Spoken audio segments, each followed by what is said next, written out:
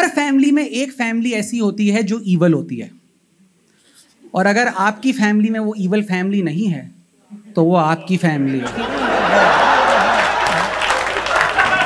आप लोग साले ईवल हो। ईवल फैमिली के जो है ना, चंद फीचर्स होते हैं। फॉर एग्ज़ाम्पल इन्होंने आपकी अम्मा के जहेज के कड़े बिकवाए हुए होते हैं। जगह जगह मशहूर कर दिया होता है कि आप एक हरामजादे हो।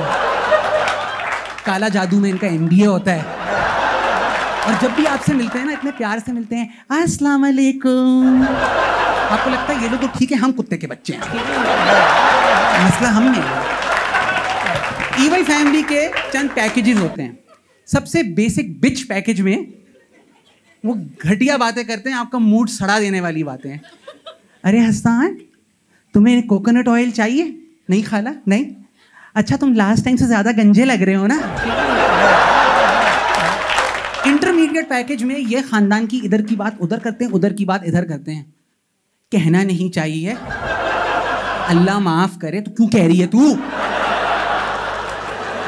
लेकिन शबाना खाला कह रही थी कि हसान की शक्ल जो ना, बिल्कुल चरसियों वाली हो गई है। तो मैंने कह दिया, हा, उसने तो दो साल से चर्स पी ही नहीं है। एडवांस पैकेज में इनका काम है नज़र। ये साली आप पर ऐसी नज़र लगाएँगे कि आपकी ज़िंदगी अच्छी चल रही होगी ना फक हो जाएगी। जो मैसेज आपको अपने बॉयज़ ग्रुप में करना होगा ना, वो फैमिली ग्रुप में चला जाएगा।